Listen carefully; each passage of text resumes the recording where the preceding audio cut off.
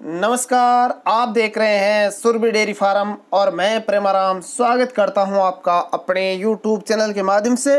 और हमेशा की भांति आपसे एक विनम्र सी रिक्वेस्ट भी करता हूँ कि वीडियो में आगे बढ़ने से पहले जिन भाइयों ने अभी तक चैनल को सब्सक्राइब नहीं किया या जो भाई आज पहली बार चैनल के माध्यम से वीडियो देख पा रहे हैं, वो प्लीज़ अपने चैनल सुरभि डेयरी फार्म को ज़रूर से सब्सक्राइब कर लें और पास में लगे हुए बेल आइकन को प्रेस करके ऑल नोटिफिकेशन बेल को सिलेक्ट कर लें ताकि आपको आने वाले हर वीडियो का नोटिफिकेशन सबसे पहले प्राप्त हो सके।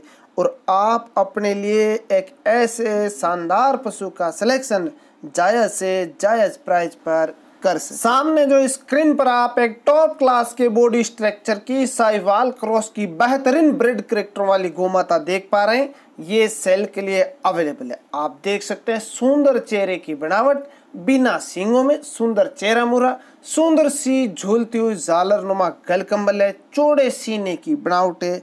सामने के पैरों पर थोड़ी सी क्रॉस ब्रिड को इंगित करता हुआ हम सुंदर सी नाभि और बड़े साइज़ के अडर को डेवलप कर रही है। बेहतरीन टीथ सप्लीमेंट है। अडर हैवी क्वालिटी का है बड़ी बड़ी उभरी हुई मिल्क वेन, पॉली और नरम चुआई की गोमाता बताई गई है, मज़बूत कद काठी की गोमाता है, खड़े और ऊँचे पीठ पुट्टे की लंबी पतली ब्लैक गुच्छे की गुच्छेदार टैल और सबसे खास बात इसकी कि पर डे की 20 लीटर मिल्क क्षमता वाली गोमाता है। यानी ये हर रोज 20 लीटर दूध निकालने वाली गोमाता है। दूसरे ब्यांत के अंदर है और बच्चा देने में लगभग 10 से 15 दिन का टाइम बाकी है। यानी 10-15 दिन के बाद में बच्चा देगी, तब तक और भी शानदार अडर को ग्रोथ कर जाएगी। बेहतरीन अडर क्वालिटी बड़े साइज़ का फिट टाइट कॉम्पैक्ट अडर है। पीछे की तरफ़ अडर में सलवटें अभी बाकी है। तो ये शानदार हैवी मिल्क क्षमता वाली, बेहतरीन ब्रिड करेक्टर वाली गोमाता बहादुर सिंह जी ने सेल के लिए अवेलेबल करवाई। भाई साहब का फार्म गढ़साना जिला श्री गंगानगर, राजस्थान के अंदर स्थित है। अर्डर क्वालिटी आप पीछे से देख सकते हैं, सलवटे अभी बाकी है। बहुत ही शानदार क्वालिटी का अर्डर ग्रोथ कर रही है।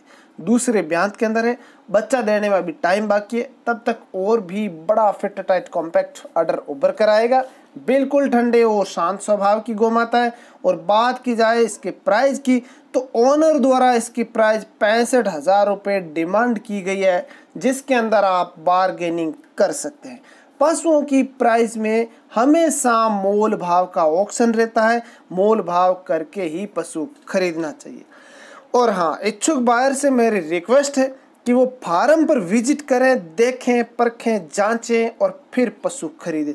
अगर आप पशु खरीदेंगे तो आपको all India transport facility available करवा दी जाएगी। अगर आप भी अपने पशुओं का वीडियो हमारे YouTube पर डलवाना चाहते हैं और अपने पशु का विज्ञापन करवाना चाहते हैं तो स्क्रीन पर दिए गए कॉन्टैक्ट नंबर पर संपर्क करें। वीडियो कैसी लगी अपनी राय कमेंट बॉक्स में दें।